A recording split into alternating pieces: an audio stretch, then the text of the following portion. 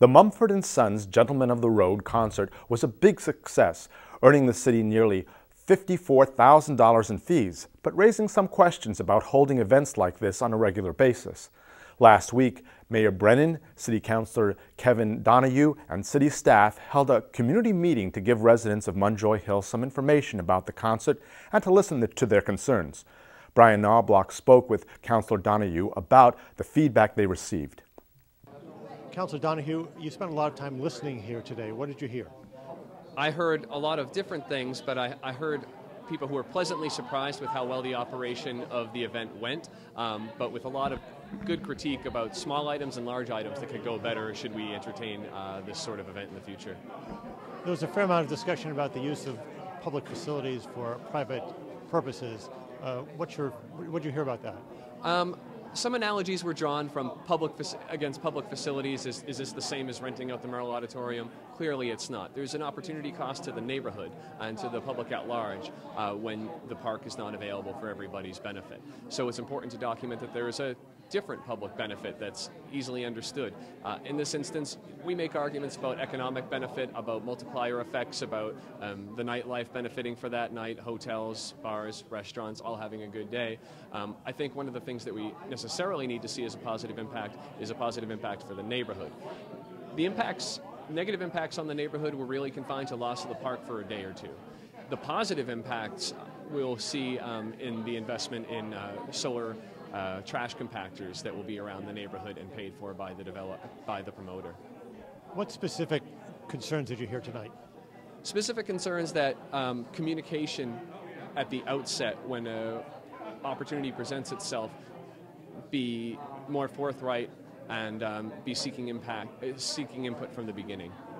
Um, this was a very fast process, an opportunity which was moving quickly, and city staff took initiative to um, seize the opportunity and rightly or wrongly, um, it left a lot of us in the neighborhood and, and, indeed on the city council playing a little bit of catch up. But in the end, it's we try to be um, boosters moreover than party poopers, but um, concerned listeners uh, both before the event and after the event to understand what the neighborhood impacts uh, are and what they fear they could be should we do this again. Andrea Myhaver is president of the Munjoy Hill Neighborhood Association. She talked about the feedback she's received about the concert. It's run the gamut. There have been a couple, very few people who are quite upset about the concert, but other than that, it's been, you know, it was a great event. Seemed to be really positive, um, but here's what didn't work. And there were, you know, some logistical things that didn't work. The food, the water running out. We heard that from a lot of people the um, prom being basically cut off for four days as opposed to one. That was some concern from people. Um, you know, those kinds of things. There was also a fair amount of concern about public facility being used for a private event. Uh, speak to that a little bit. Yeah, we did. We received actually um, probably, I would say the majority of our feedback was around that um, because, you know, people expressed that this is a public park. It's where we go to enjoy it every day, and is it really right philosophically speaking, to charge money for an event for that. Uh, but I think most of the people that expressed that concern said, you know, if it was done on a um, smaller scale, not smaller scale meaning smaller concert, but less often, you know, they could handle a once a year type of thing. But if it became a regular event, that would be of concern to them. So that's that was, I think, most of the feedback that we got. Portland Mayor Michael Brennan talked about finding the right balance for the use of public facilities.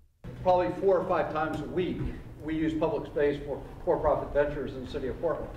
Uh, from Merrill Auditorium to the Ice Arena to the Expo to you name it, uh, Hadlock Field.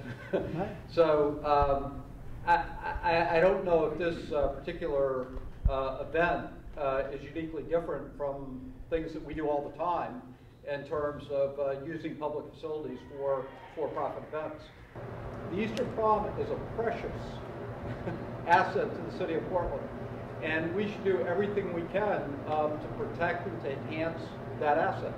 Um, in this particular case, I thought it was a good use of the asset, and I thought that the benefit to the city, um, you know, so, several people mentioned this, but uh, we ended up on a world stage, and we did well.